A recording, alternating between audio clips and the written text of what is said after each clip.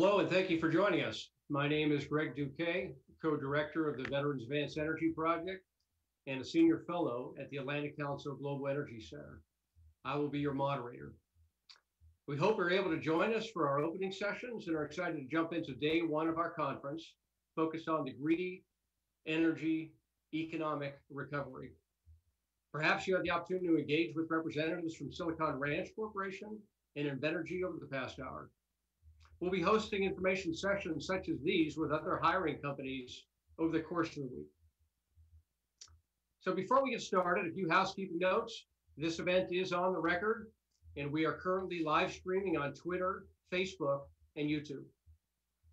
We encourage you to post about what you hear today and share on social media using the hashtag Vets Energy Week and by tagging us at AC Global Energy and Vets underscore energy.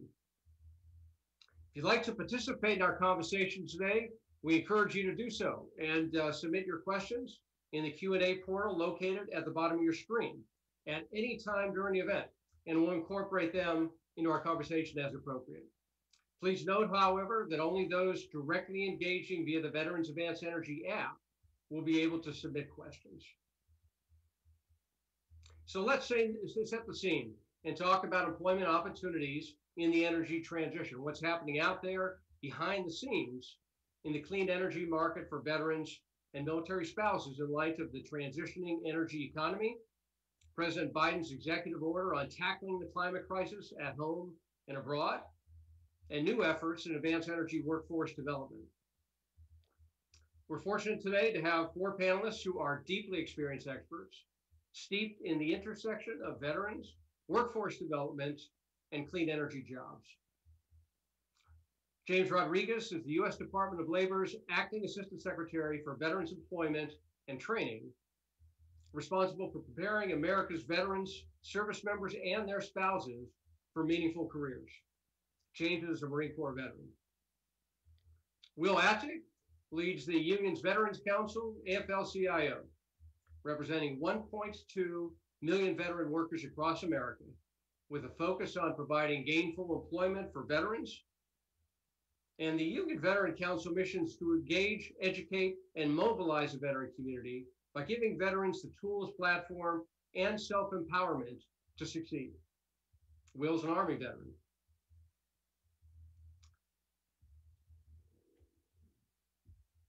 Grant is founder and CFO, excuse me, is uh, co-founder and uh, head of business development of Airstreams Renewables, a business that provides career skills training, education, and mentoring for their students, who include veterans and military spouses, to transition into successful renewable energy careers. Catherine McLean is founder and CEO of Dylan Green, a strategic talent acquisition consultancy placing commercial professionals within the clean energy and technology space. So now I'll ask each of our panelists, starting with Catherine, an opportunity to give a short opening statement about how their work relates to employment opportunities in the energy transition. Catherine, over to you. Thanks very much, Greg. Uh, I'll just quickly tell my uh, story about how I got into the clean energy industry because I think that um, it has a lot of parallels to what veterans are going through. I didn't necessarily start off in the clean energy industry. I had a different career path and pivoted into the clean energy industry uh, later in life. Um, I started working at DHL in corporate sales, uh, moved over from Washington, D.C. to London with them, uh, and then sort of fell into uh, recruitment. Uh, when I was working in uh, Robert Half, which is finance and accounting recruitment, um, I then, the recession hit and I decided to take a career break and I focused on going back to school and doing my master's in public health. That opportunity wound up being an opportunity to go work at the UN in Rome doing public private partnerships. I realized quite quickly the nonprofit world wasn't necessarily for me, but I had a I had that knack for recruitment, helping a lot of students in the class get opportunities um, in different NGOs. I then decided to go back into recruitment, focus on something that I was um, more passionate about, which was clean energy and sustainability um, and have subsequently been in that space for the past decade, setting up a firm in London called McLean Ross um, and selling that firm uh, later to a company called Opus, merging that firm into a company called JD Ross Energy, uh, and then coming back to the US three years ago to find, uh, to start Dylan Green. Uh, Dylan Green focuses on renewable energy, but specifically helping um, diverse candidates uh, within the clean um, energy space and other spaces get into, uh, into the field. Thanks, Catherine. Um, Grant, over to you. Hey, good morning. Apologies for the lighting, everybody. I'm at a Marriott hallway, so I just flew into Atlanta to go down to Fort Benning. So uh, Airstreams, we are a uh, vocational training school that trains in six to seven weeks um, veterans to climb cell towers and wind towers, and also a ton of solar work. Um, right now, the markets are going crazy, um, but at Airstreams, we have a six-week program that ha- that has uh, six different gates and they end up getting 10 different certifications. But the key to this is jobs. The job market's going crazy right now, all in uh, all, all over the nation for solar and wind. And uh, and we just opened up our national training center. We just put $2 million into an old GE building. We built 58 bed spaces. So we bring veterans directly into California. We have a full kitchen there, full laundry rooms, everything they're there. They cut, do three weeks online and they do three weeks um, in person. And then the key is, is most of them walk away with three to five job offers. Veterans are wanted everywhere in these industries, and that's the great thing for vets. Terrific. Thanks, Grant. Will? Oh, thank you so much. And, and I really enjoyed and appreciate the uh, invite to come here to, to be part of this uh, incredible panel. And, and like, like Catherine, I'm going to tell my little bit of a story. Um, I'm a combat infantry veteran. Um, I led soldiers uh, from the beginning of the Iraq War through some of the, the worst times. Um, and I think for most of my military career, I thought the worst I was ever going to see was the uh, streets of Ramadi uh, during the surge. But the reality of it, when I came home to Southern Illinois uh, right after right after the military in 2010, the hardest fight I ever had was was trying to find a job, trying to find my place um, after doing all of that in the military. And I joined the military as a poor kid from Southern Illinois and I quickly, you know, lost a lot of that dignity and, and self-purpose that I had when I was in the military, when I bounced from, you know, low-end job to low-end job until um, I found a, a, veteran training program called Helmets to Hard Hats. And that program uh, put me in a welding booth, um, taught me how to be a basic welder. And then um, that was a direct entry into a United Association Plumbers and Pipefitters apprenticeship program. Um, and I went from having the worst moment of worst days of my life being turned down for jobs, uh, being told I wasn't worthy of mid-level management jobs after leading a squad of soldiers in combat, um, to uh, a, a, group of people saying, we, we, care about you, we support you, um, we're going to make sure you have a future. Um, you're going to have a, a, decent wage, you're going to have full benefits. Um, and, and we're doing this for veterans all over the country. So uh, that day I started to work to make sure other veterans had those same opportunities. Um, and I realized that um, if we can find as many jobs for veterans, um, the more we're going to do for the veterans community. And and the ironic part of this all is the very first job I ever had was working for a year and a half building a scrubber on one of the worst uh, pollutant uh, coal-fired powerhouses in the Midwest. Um, and that job gave me this ability um, to not only uh, you know start to gain money, but have the opportunity to truly transition for the first time and, and breathe and, and, and take assessment of, of what my life is at that moment. And um, I'm just happy here to share uh, how we're going to be able to put a ton more veterans into those same, same opportunities. Terrific. Thanks, Will. Uh, James? Hey, Greg, thanks again for the opportunity to participate in the panel.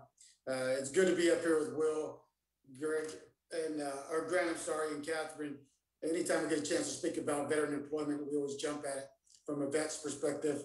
And uh, it's always good to see uh, leaders like that in these type of emerging markets, as well as their respective organizations who share a commitment to train and place veterans into meaningful careers. I know we're going to have an opportunity to ask questions here later, but I also have uh, some of my staff uh, keeping track of those questions in case I don't get a chance to get to them. But I want to speak a little bit about vets.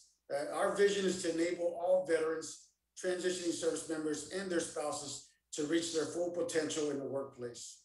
And our mission is to prepare America's veterans, service members, and their spouses for meaningful careers, provide them with employment resources and expertise, protect their employment rights, and promote their employment opportunities. Last year alone, over 2,800 vet staff, contractors, and grantees served over 370,000 veterans and military spouses across all agency programs. And each year, nearly 200 service, 200,000 service members take off their uniforms and transition into the civilian workplace. Uh, this is a number we're all too often familiar with, and we still have a lot of work to do when it comes to supporting these 200,000 service members. So we will continue with our priorities of improving the military to civilian transition assistance program and working closely with our strategic partners to include our federal and state governmental organizations and non-governmental organizations such as unions, training providers, and industry associations. As you all may be familiar with, one of President Biden's priorities in his Build Back Better plan included tackling the climate crisis. And I quote, empowering American workers and businesses to lead a clean energy revolution. So I'm excited for the emerging opportunities for veterans in clean energy. We have a real opportunity to create a clean industry, pathways for veterans and for all Americans, especially those underserved populations, by leveraging apprenticeships and other training programs that lead to industry recognized credentials and a great career. These credentials combined with experience in industry also lead to entrepreneurial and business ownership opportunities for veterans. As a matter of fact, on May 21st, the DOL Secretary, Secretary Walsh tweeted, clean energy is the future. By investing in the 21st century jobs and training opportunities, we'll prepare our workforce for a clean energy economy. With that said, I look forward to the panel discussion. And again, I'm happy to be here and join you all. Thank you, James.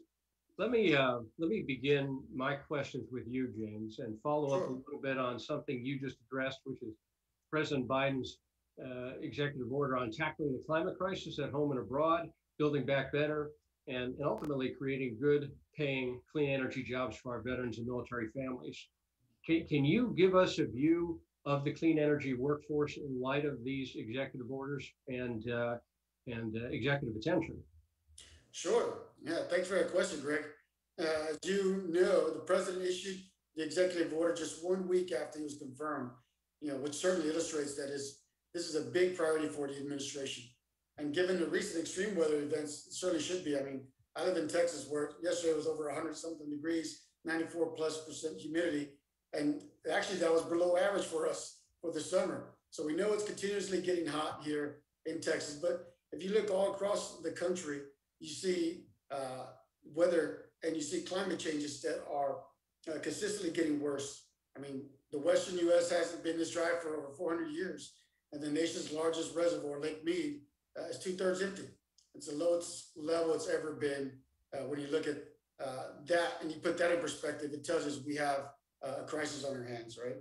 As of last week, firefighters, you know, they were dealing with 85 major fires in an area about the size of Delaware and with months left to go still in the fire season. So let me point out two things within that executive order. Uh, one of them, part one, being putting the climate crisis at the center of the United States foreign policy and national security. And then number two, taking a government-wide approach to the climate crisis. When you look at number one, for example, regarding uh, the climate crisis, you know, we take our veterans and we look at how veterans have supported uh, the military instrument of a national power, and they also have the potential to support economic instrument of national power through careers in clean energy that further ensure that the national and economic security of the country through energy independence. Uh, that's something we want to get to as a nation, and I think we continuously worked at that, but we still have a lot of work to do. Uh, tackling the climate crisis is also part of the president's Build Back Better program or plan, as I mentioned, and this includes investments in infrastructure, clean energy, and expanded training and apprenticeships, something that we at vets are wholeheartedly committed to. We know that a skilled workforce with a free and fair chance to join a union is foundational to achieving the president's goal of having a 100% carbon-free electricity by 2035. Great. Well, thank you, James. Yeah. Um, Will, let me ask you the same question from the union perspective. How is it transition to clean energy going for veterans who are union members? Well, you know, I, I like to think about, I really like to think about things in, in historical concept. And that's, that was actually what I wanted to do before I decided that I was going to be a union pipe fitter after my, my plans didn't go right.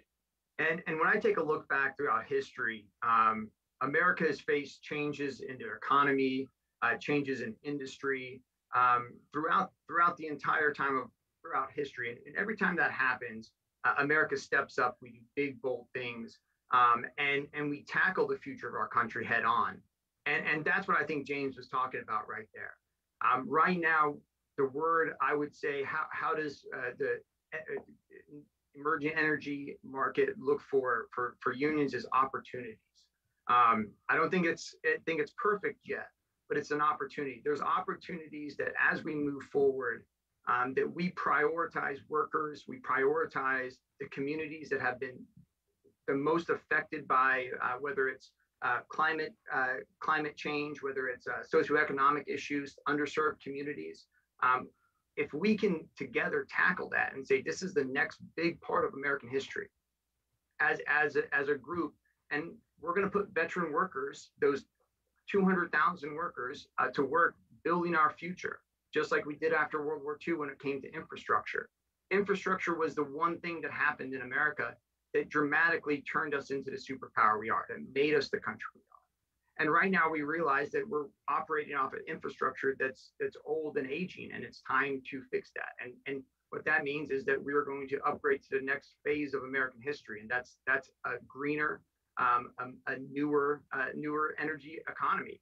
But we've got to make sure we understand that the switches just don't turn automatically. We have to make sure that we're paying attention to the workers that are going to be affected, the communities that are going to be affected by the change in the economy. We've got to make sure that as we transition, we're still investing in the infrastructure we have today so that it's not uh, being as pollutant. It's not, uh, it's being more efficient as we transition. So for me in the union community, it's opportunities, but that opportunity must come with the right regu- regulations, the right standards. Um, we can't, we, we got to make sure that as we transition that again, it's not just, you know, corporations, CEOs um, that totally get the benefits. We got to make sure workers are at the table. And um, we see that every day when we're putting veterans together and putting veterans into to, to, to, to workforce development programs from pipe fitters to utility workers um, to electricians. Um, and again, each one of those opportunities leads to stability in a veteran's lives, and that's or their family members. So it's so so important. Great. Thank you for that. Uh, Will, uh, just a reminder to our audience out there, throw your questions in as they occur to you and we'll, we'll snag them uh, off and, and, and discuss them. Um, let me, let me turn uh, to you, Grant. You're deeply experienced in the transformative potential of workforce development uh, in bridging veterans and military spouses to advanced energy. How does the Skill Bridge program facilitate this transition to clean energy jobs? Uh, as a skill as a SkillBridge member, we uh, we we basically teach on eight different branches nationwide. So from JBLM on the West Coast, include about six bases all through the Midwest, and then all the way to Camp Lejeune on the East Coast. So what transition members can do is they can actually go permissive TDY while they're in the last 180 days of being in the service. They can go permissive TDY and come take our class, which is a seven-week class, where once again you earn 10 different certifications. Uh, the key is this the placement side. So um, the Zoom has revolutionized the way we do placement. Um, I just real quick, I was walking by my wife who was teaching 20 kindergartners on Zoom, and I said, "What is that?" And she goes, "This is Zoom." And I once again said, "What is that?" And I instantly light bulb went over my head, and I called all 10 of my biggest employers. Said, "Would you guys like to meet all of our students on Zoom?" And they said, "Heck yes." So they uh, so they basically um, get to they get to meet at least 20 companies. These aren't small companies. You're talking like GE, Vestas, Nordex, Nextera. Those are the biggest four employers and they beg for veterans. The reason why they're begging for veterans is they want the leadership. They can't find leadership out there. I have two millennial kids. I wouldn't I wouldn't ask them to lead anything. So it's like uh, basically um, they want these leaders. They walk in the door and they go, "Holy smokes, what did I find?" Nextera actually visits every one of our classes, and they usually pull between seven and ten people. Nextera is the biggest company in the world when it comes to renewables, to doing energy. They are the biggest wind and solar company in the world. So um, my son actually got a job there, so I, am happy with that. He's not on my payroll anymore. But uh, basically, um, that's it. I mean, we we train people in seven, six to seven weeks to, uh, and I'll tell you that, and then the next question I'll tell you how much people can make. But uh, it's it's a quick program, no fluff, and we they earn those certificates, and um, companies are begging to get our employee, uh, begging to get our veterans. Like I said most walk away with three to five job offers. Grant, let, let me ask you just to follow up briefly on that answer, excellent answer, and, and give us a- just a little bit broader understanding of the Skill Bridge program as it relates to the government, because I think a lot of our audience may not be familiar with it. So SkillBridge, SkillBridge is amazing. So uh, it was like about 10 years ago, um, they realized they had a uh, huge deficit when it came to unemployment. When the military people got out, they were paying so much unemployment. Well, that unemployment comes out with training costs. So what they realized was we need to get these individuals jobs. We need to find, give them the skills that they need to walk out the door with a job. So we're not the only one. There's about 150 skill bridge, and I'm probably on the light side. There's 150 skill bridge companies around the nation that are doing training on on every every base. If you are a veteran and you're looking for a skill bridge to do training on a base, you can go permissive TDY. There's barracks base opened up. Um, of course, with COVID, everything closed up for a little while, but now it's starting to open again. And uh, basically, um, you can use a skill bridge. Now, skill bridge has two two different two different capabilities. You can do a skill bridge where you can actually do an internship when you're in the last 120 days of uh, last 100, 120 days, or I- think, yeah, last 120 days would be an end. You can go do an internship for four months. So you can pick any company, any company can apply for it. That's not our branch of it. That's not training on a base, but that's, that's something uh, open to veterans as well. So if you just Google Skill Bridge, very simple. It gives you all the ins and outs of it. Um, if you go on, if you go on Facebook, it's a great way to, um, people all the time are saying what's good, what's bad about Skill Bridge and how to get involved in it. So I just say, do your research. Um, but if you're a transitioning veteran, no better way is to get an inter- to get a job is to get an internship, which basically leads you to your job. Right. Hope that answered it, Greg. Yeah, that's a great answer, Grant. Thank you. I think we have a question from Jerry that uh, Zach is going to answer live. Uh, Zach? I would like to say we have a recruitment session at 3:30 on this exact program today. So feel free to join us for that recruitment session, to learn more about the Airstream Skillbridge program.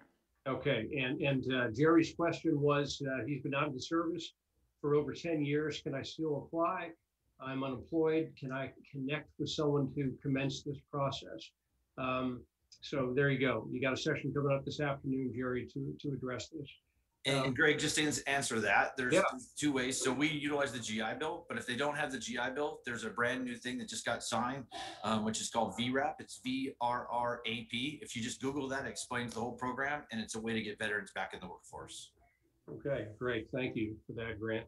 Um, We have another interesting question. It's a tough one uh, from Nicholas. Uh, He says, as a U.S. manufacturer of non-glass lightweight solar panels and solar power towers, wanting to hire more veterans means we must follow through with banning Chinese solar panels.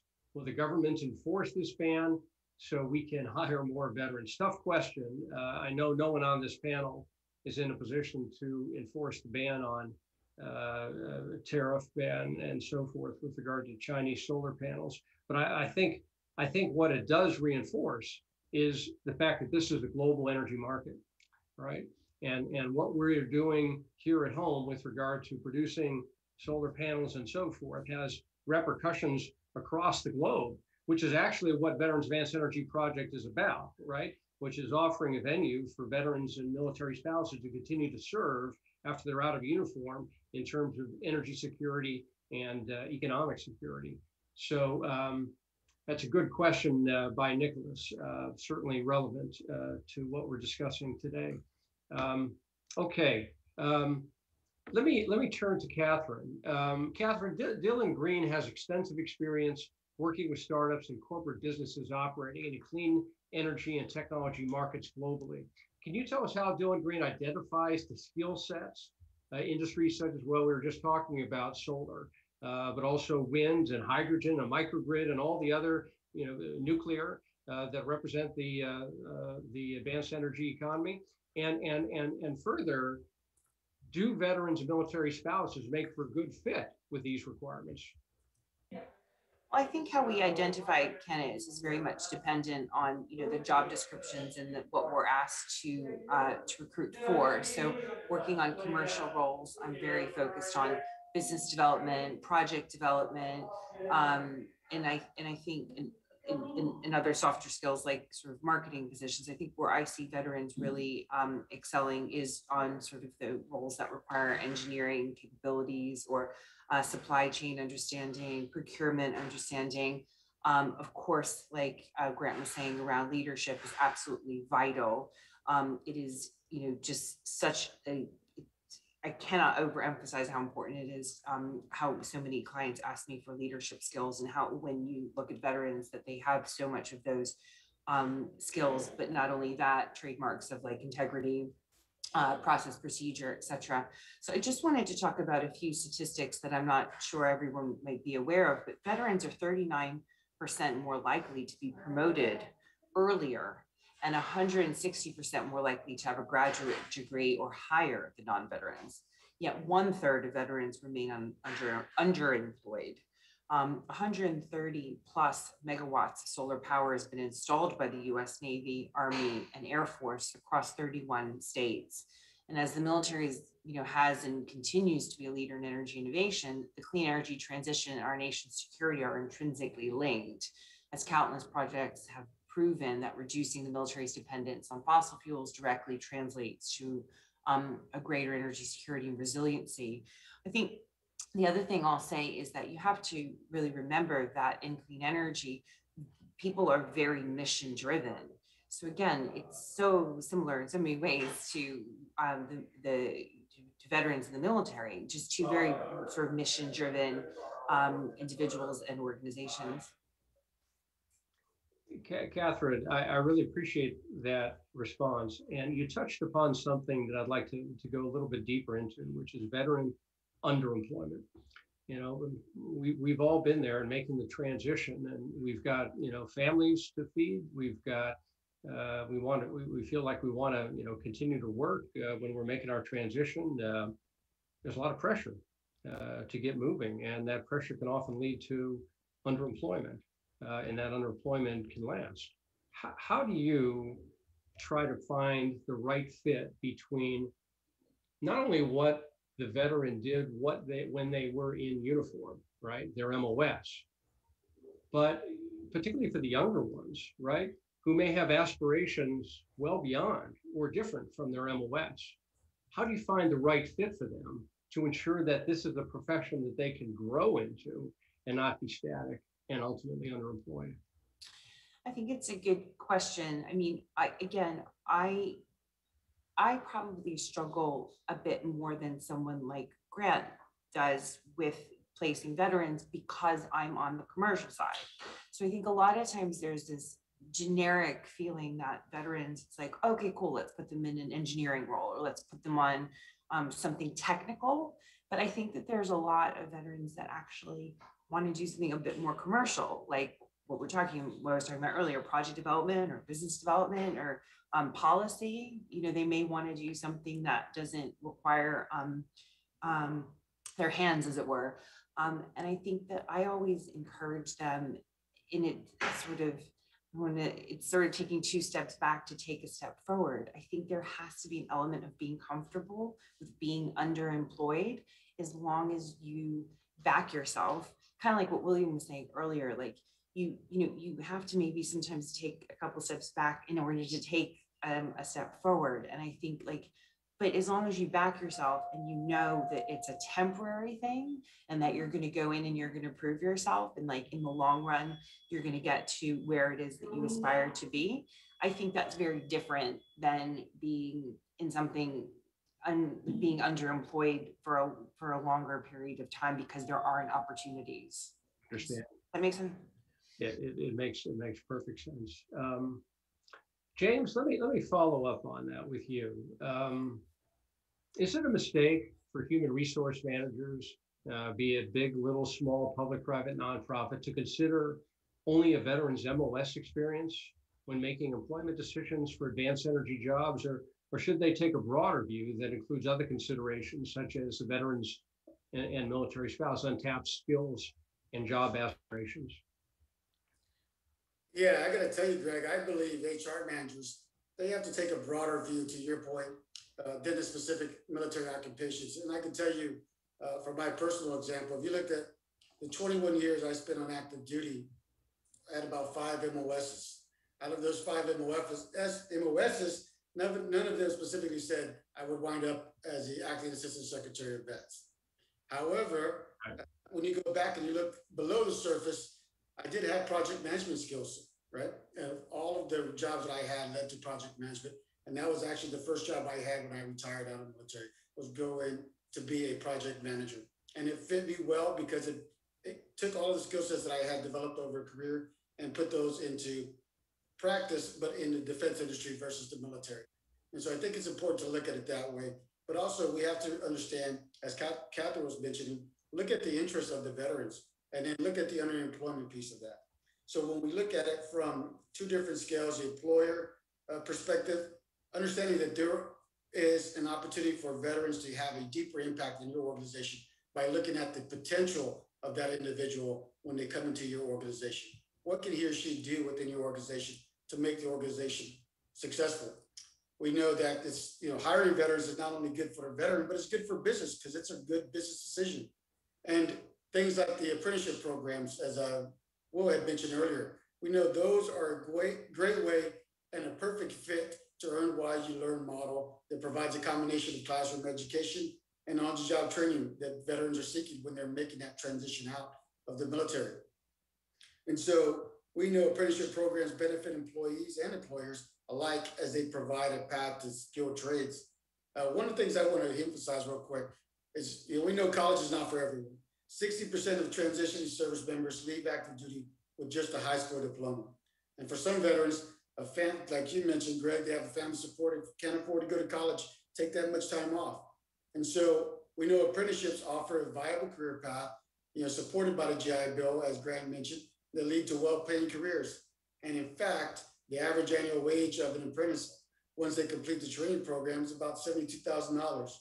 So when we look at what veterans have to offer in the sense of skills, I mean, it goes without saying, there's soft skills, hard skills, but the bottom line is veterans have propensity to learn and succeed given the opportunity. And we want to put them in the right areas where they can succeed and continue to learn.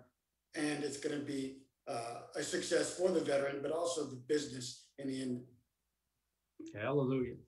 Uh, Although I gotta, I gotta disagree with you on one point, James. I suspect that every Marine that ever worked for you figured you'd be Secretary of Labor one day. I appreciate that. Thanks.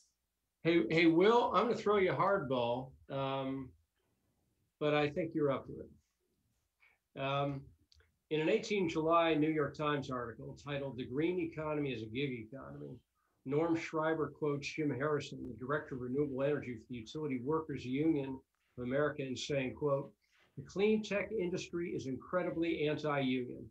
It's a lot of transient work, work that is marginal, precarious, and very difficult to be able to organize."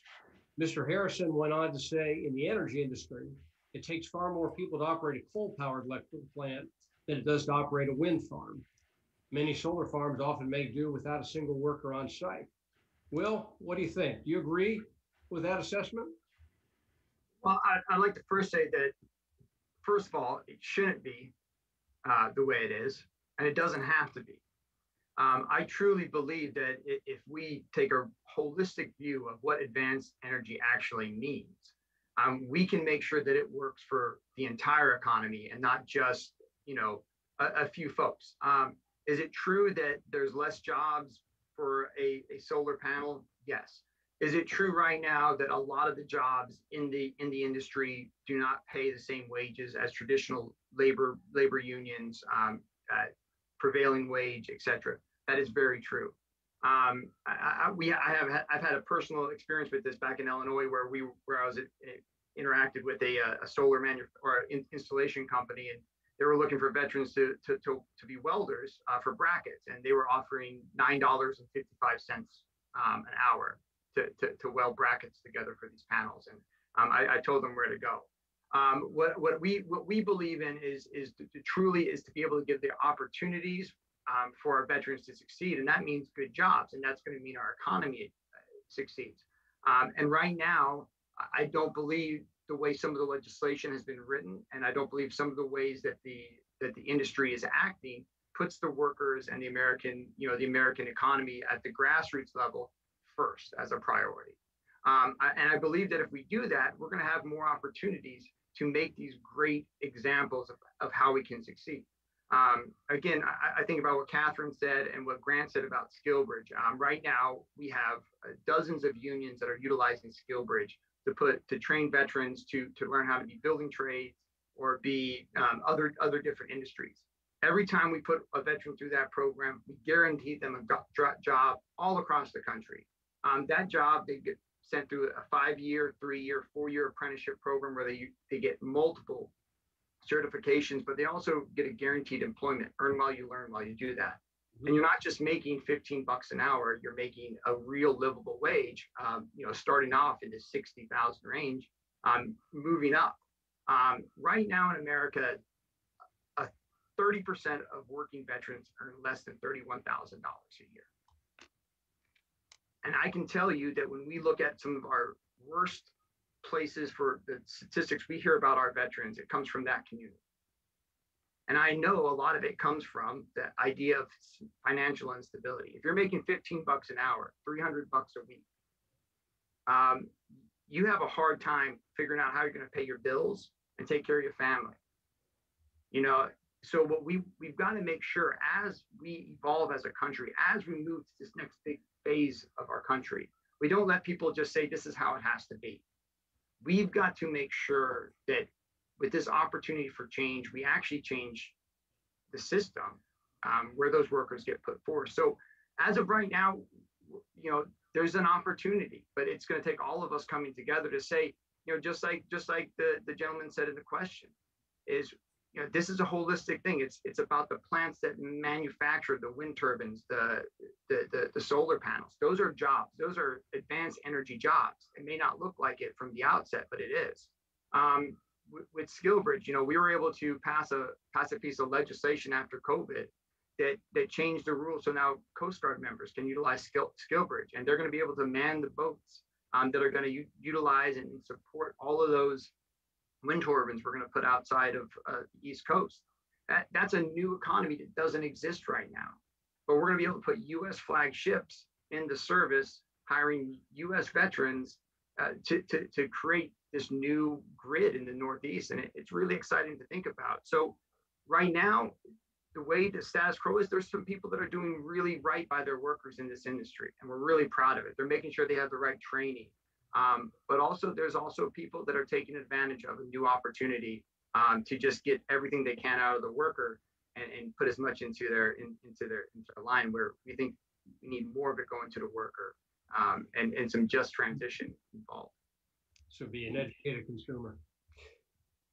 Got it. Um, hey, um, Grant, let, let, let me ask you an associated question with regard to, uh, pay and benefits, uh, in the green energy economy.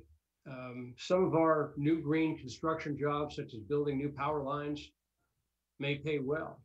Uh, but many will pay less than traditional energy industry construction jobs in the past. Uh, for example, construction of the new fossil fuel plant in Michigan employs hundreds of skilled tradespeople who typically make at least $60 an hour in wages and benefits. By contrast, about two thirds of the roughly 250 workers employed on a typical utility scale solar project are lower skilled, according to Anthony Prisco, the head of the renewable energy practice for the staffing firm Aerotek. How does Airstream's renew- renewables fit veterans into careers with good pay and benefits? So, so you're absolutely right. So some of the solar industry in the beginning would uh, not pay. Uh, they would, they wanted you to go 14, 15 dollars an hour and they want you to go weed eat for eight hours a day to prove yourself. And then they would move you to where you'd be an installer. We don't deal with any of those people. So how we get around that is we deal directly with human resources, vice presidents and human resources people that are high up in companies like a GE, a Nordex. We're, we work with vice presidents, so if uh, of of the company, so they understand what Airstreams brings. They understand it's a veteran. They understand it's an it's a person that can grow within their company versus someone that's just off the street. So they real they see the intangibles, the dedication, the fact that they're going to complain about the job when it's done. As a civilian, we complain about it before, during, and after. So it's just a, it's a different mindset. Uh, they realize, like I said, they realize they're finding leaders um, they're finding people. So the average median income, uh, average median for wind turbines is fifty-two thousand a year. That's just starting. If you decide you want to travel, you're going to make that 52,000 plus you're going to make 30 to 40,000 dollars per diem tax free on top of that. So um, many of these companies are FieldCore, the biggest company in the nation right now that has uh, over 300 people traveling around the nation. Um, it's a division of GE, so great benefits, great travel. Um, a lot of a lot of families will actually put themselves in a tractor, in a trailer, in a truck, and they'll go around. Guess what? After two years, they save eighty thousand dollars, and they're have a great down payment on a house on a place they decide they wanted to live while they're out there traveling around the nation. So it's it's a it's a good sustaining job. Solar, um, it's coming up. I mean, the solar industry right now on the residential side, it's offering the most money. It's your home every night, um, most nights, um, and you're making between twenty five and thirty dollars an hour starting. Once you become a lead, you push to thirty five. Journeyman electrician push to forty to forty five. So it's a very lucrative um, opportunity. But like uh, like Catherine said, sometimes you have to take two steps back to take a step forward. We always like to say you didn't start out as a sergeant when you got in the military, you started as a private. So guess what? You're going to be a private again for a little while. But guess what? You're going to go, these companies, all the companies we work with have a plan for veterans to have them progress through their, through their, um, companies. So they know they're going to go tech one, tech two, tech three, and then they're going to be a site supervisor, and then they're going to be um, the uh, sorry a lead and then a site supervisor. Well, guess what? A site supervisor makes one hundred twenty thousand dollars a year on a wind farm. We have a lot of guys that have progressed in three to four years to be a site supervisor. So it's it's the key is is these industries are growing at such a fast pace. Um, they can't find enough people to do the work. So every veteran's welcome for sure. Thanks. Jer- Jerry Wright signed me up. So I- I'd welcome more questions and comments from our audience. Uh, We've left some time here in the last uh, 10, 15 minutes to get to them. Um, In the meantime, um, Will, you told me about, um, uh, over the phone, about a Chicagoland program that employs union veterans to upgrade natural gas systems, meters and valves. Highly technical work. Can you tell us more about this program? Yeah, definitely. I think this this hits on a few things. Just the the, the amazing benefit of veterans to uh, companies that are involved in this, and then also the need to to understand that you know we're transitioning. We're not turning switches off uh, to as we as we work to save our environment and our planet. Um, I think it was five years ago. The utility workers in Chicago decided that they were going to. I think it was more more eight years ago. I apologize.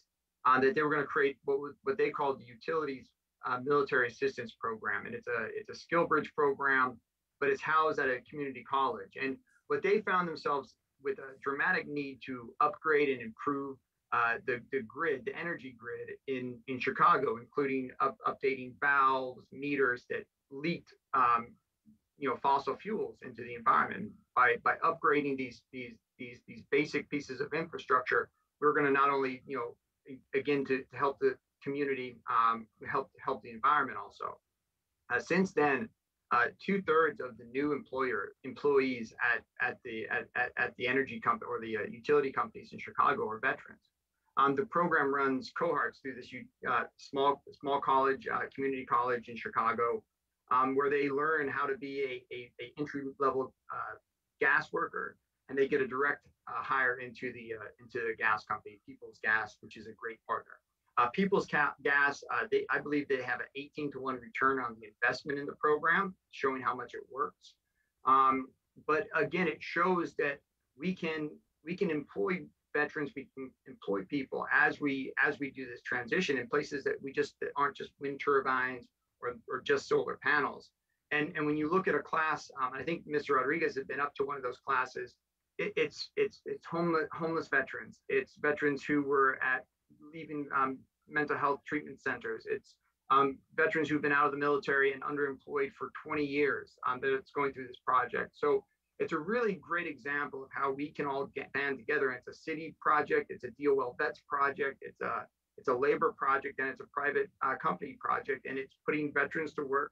They're becoming leaders now, and it, it's a great example of, of, of, a place that we can invest in uh, to support our environment and advance our energy needs. It's a great, great answer, Will. Um, you know, and it's a good segue into, into my next question, which is for all of our panelists, uh, which is, you know, we're all familiar with the social economic ills that have befallen the coal industry uh, workers and their families as uh, coal has been priced out of the uh, economic equation in many regions in the country. by natural gas and other advanced energy sources. So, so the, the question for you all is how can the US transition from old energy to advanced energy in a socially and economically responsible way that doesn't leave major segments of our society behind? Anyone want to jump in on that one?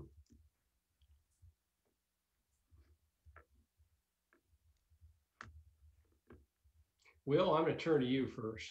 So Okay, I- I- Since I, I- since I know you've got strong opinions on this. I've, I've got some strong opinions, and I, I don't think it's just the coal industry. I think you got to look at the communities of most of our fossil fuels, right? Um, most of our fossil fuel industry happens either, you know, around the big refinery operations in, in, in cities, um, usually industrial areas, or in rural America, whether it's coal mines, pipelines, uh, the actual extraction process.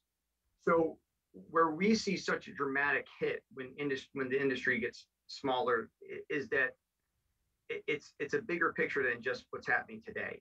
Um, there's no other economic base in most of these communities. Um, make, there's not a lot of jobs left in these in these industries, whether it's coal-fired powerhouses, the mining industry. Um, but those jobs are the best paying jobs in large swaths of our country. Those energy jobs. We were looking at Pennsylvania, West Virginia, Kentucky, Southern Illinois. So when a community that has already lost its manufacturing jobs, it it it never they those those those communities didn't really recover after a recession when it comes to jobs coming back to the area.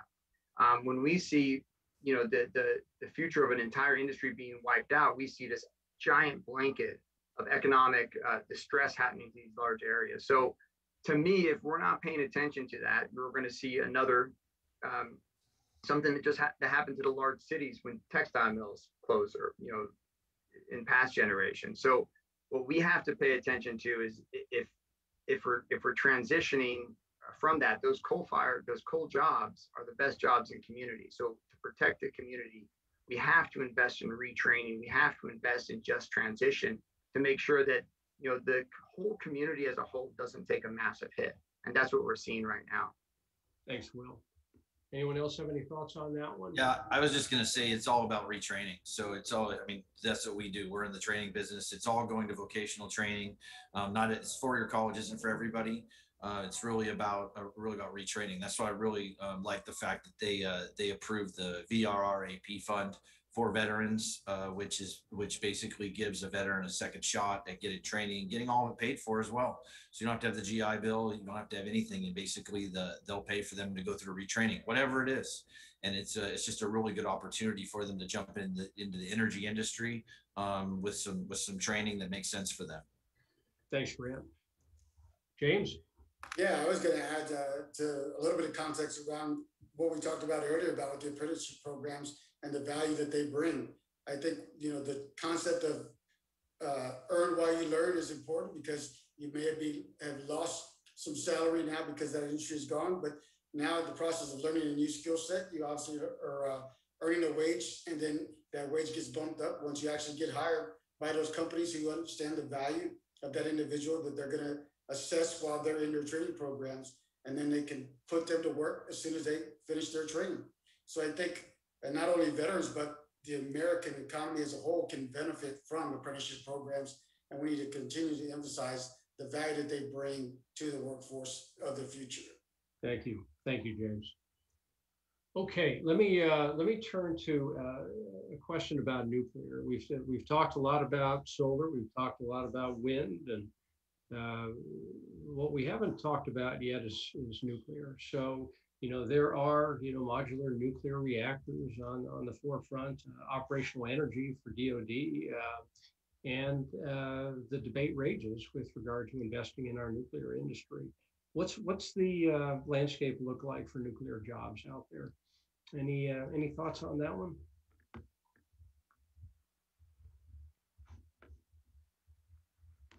I- mean, having worked in, in Europe for over a decade. Nuclear was um, something I saw up and coming. There were more and more jobs. I think um, after a couple of disasters, it seemed to be um, backpedaling. I've, since I've been back in the US in the past three and a half years, I've not had any nuclear opportunities come my way, and I work on a very wide range of technology opportunities. Um, I personally feel like it's a shame. I think there's opportunities to learn from these disasters instead of just knee-jerk reactions. But um, I, I, I don't know what, what Grant's seeing or, or um, other recruiters, but I, I don't get a lot of those. I get none, quite frankly, There's opportunities across my desk. Understand? We're, we're seeing the energy industry, we're seeing a lot more in, in- I live in Houston, right? So uh, tons of LNG plants. The LNG plants are going crazy right now.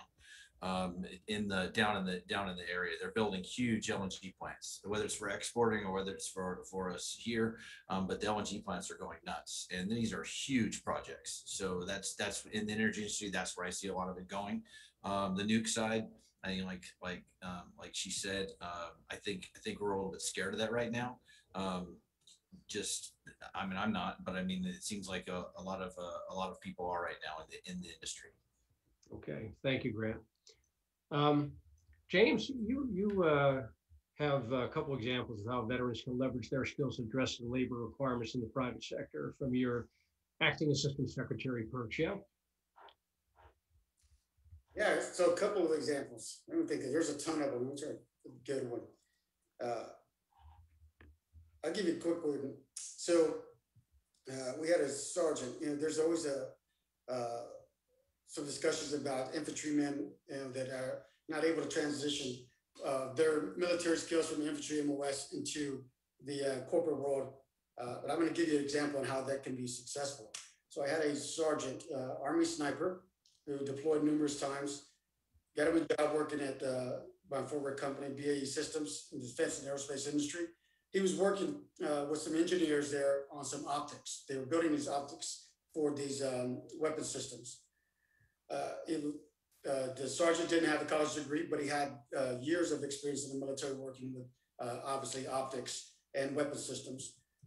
Fast forward three years working in these programs with engineers developing optics, he wound up developing a specific optic system that helped reduce um, the for night vision goggles and night vision weapon systems. He helped reduce the uh, trying to explain this correctly. He helped reduce the uh, the visibility or lack of visibility and uh, within these optic systems. He wound up getting a patent with one of the engineers there, and now he has three patents working on uh, different systems that uh, support uh, optics. So again, when you look at what veterans bring into the um, corporate space, a lot of times it's not only wrapped around uh, their MOS, but it's wrapped around the ability for somebody to pull that uh, those skill sets out of that individual and understand how they can be applied in whatever industry that they are going to go work in, whether it's clean energy or the, whether it's weapon systems, things like that. And I think again, our our uh, veterans are resilient.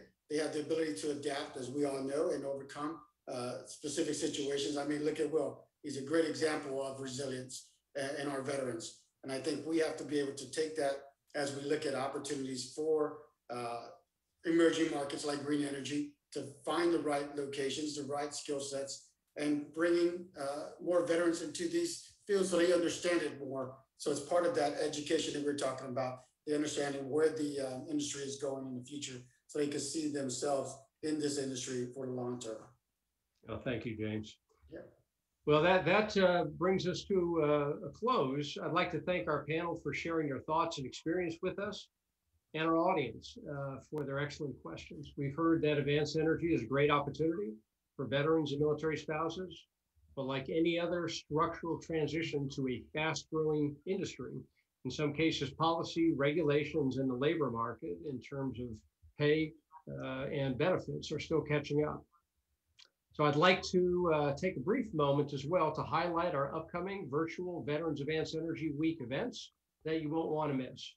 Um, immediately uh, after our session is an information session with Emerson, a global manufacturing company. Uh, as well, from 3 to 3.30 Eastern, these are all Eastern times. Uh, bring your energy to Alliant Energy, a Midwest uh, energy company. Meet Alliant recruiters, and their veteran resource group, uh, which is essentially the group that uh, will work with you once you're a member of Alliant for your career aspirations. 3.30 to 4, vocational training for renewable energy jobs, an information session with our own Grant Johnson's Airstreams Renewables. And we spoke about that a little bit earlier. And then um, a 4 p.m. keynote conversation with Congresswoman Miller-Meeks, uh, moderated by Julia Piper.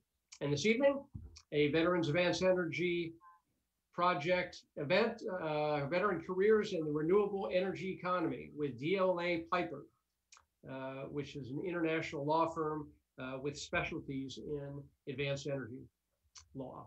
So lastly, if any of this interests you, you can apply today for a Veterans Advanced Energy Fellowship, a full year part-time career development program through the Atlantic Council designed to elevate and support veterans interested in the intersection of national security and clean energy. You can find the application for our fellowship on our webpage. So on behalf of the Veterans Advanced Energy Project and our panel, thank you for joining us today and looking forward to seeing you later in the event. Thanks, Greg.